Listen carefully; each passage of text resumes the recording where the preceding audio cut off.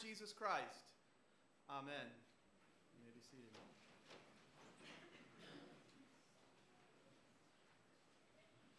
Jesus asleep in the bottom of a boat. Jonah asleep bottom of a boat.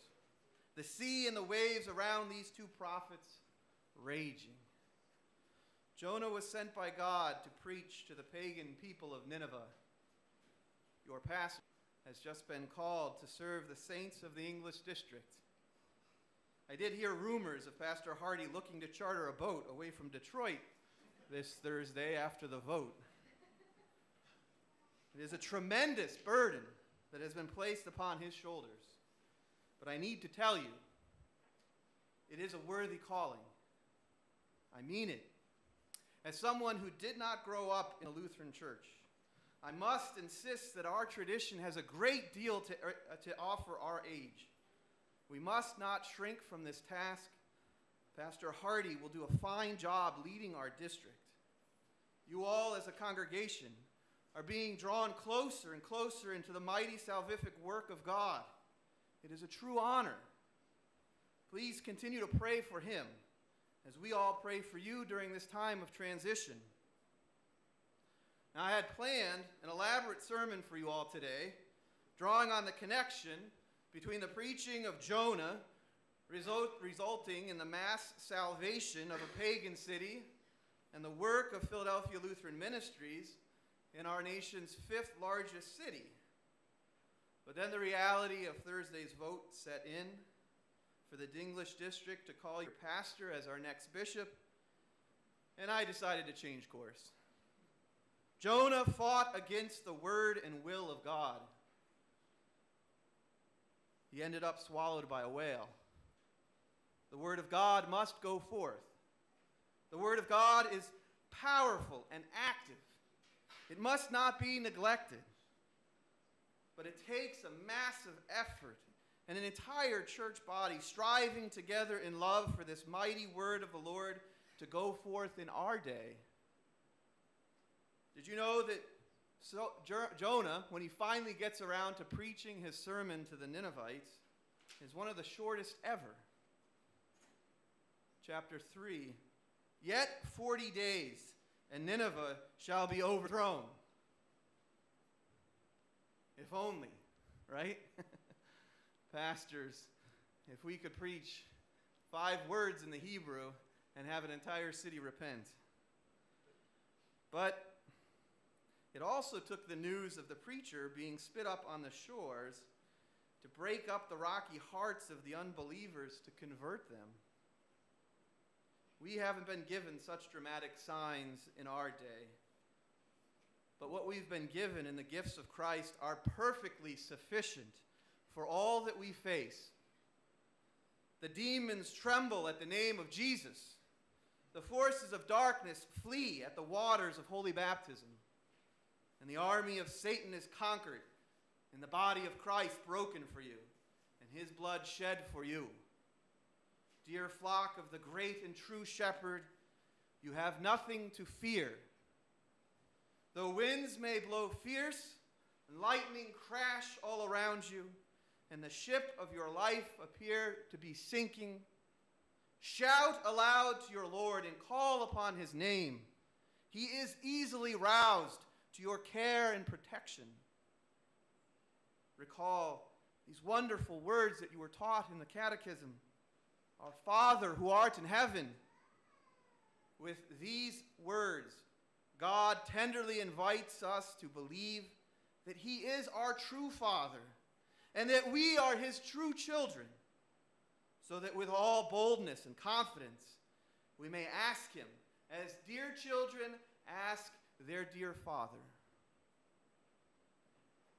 Teacher, do you not care that we are perishing?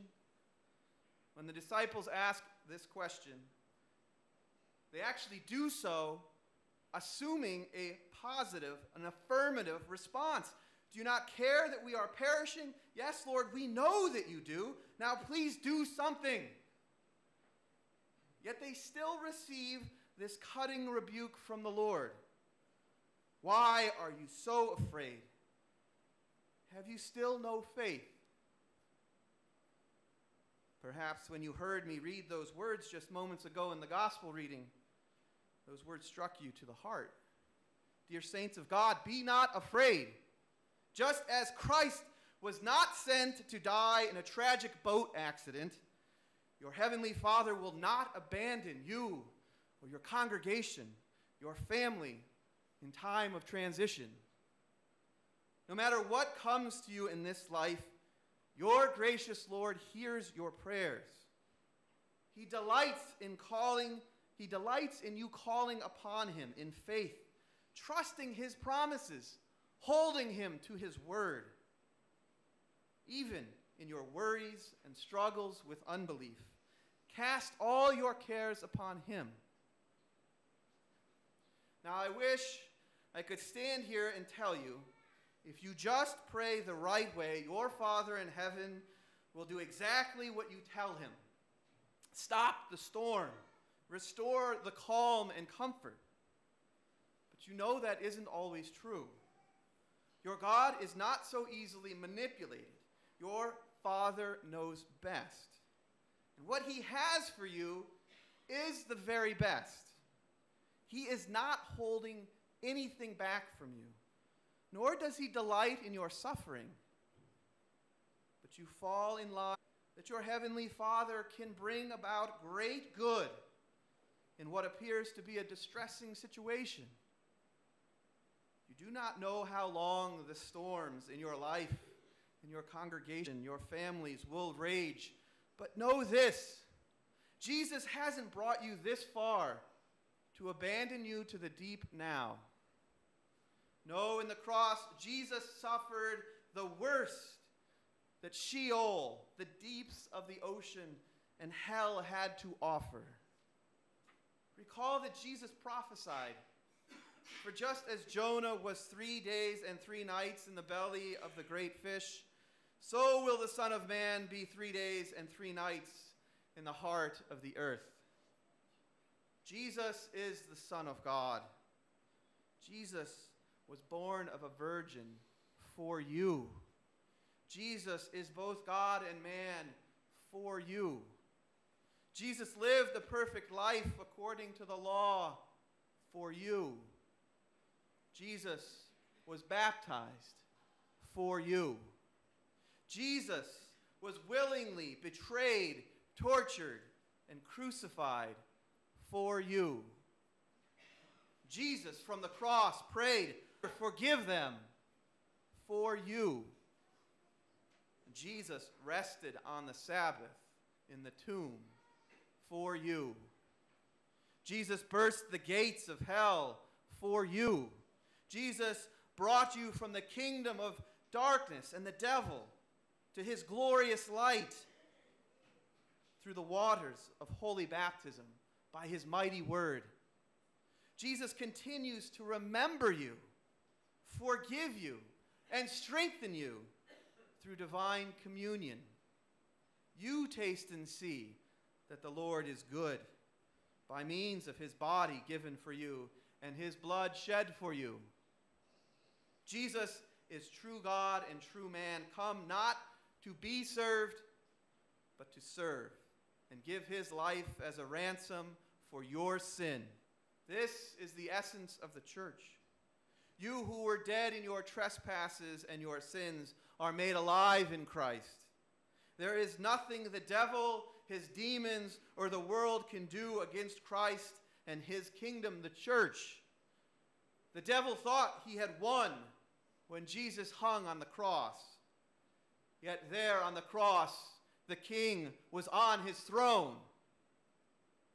You will not know the love of God any better in heaven than seeing Christ on the cross making the ultimate sacrifice for your sin.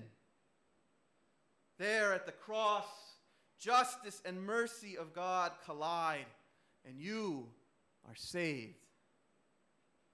It is there at the cross that forgiveness is accomplished. You can forgive because you are forgiven. Every sin has already been paid for. The church eats, sleeps, and breathes this forgiveness of sins. So you see, fear not. Your sins will not condemn you. You belong to Christ. The devil and the gates of hell are defeated. They are sad and powerless, for you are in Christ. Recall that Jesus said, No sign will be given except the sign of Jonah. For as Jonah became a sign to the people of Nineveh, so will the Son of Man be to this generation. The men of Nineveh will rise up at the judgment with this generation and condemn it. For they repented at the preaching of Jonah, and behold, something greater than Jonah